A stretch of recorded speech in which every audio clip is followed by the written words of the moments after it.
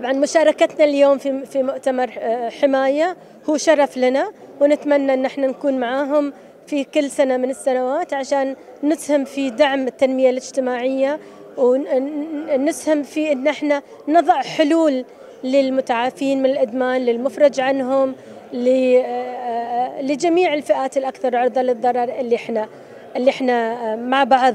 نساندهم.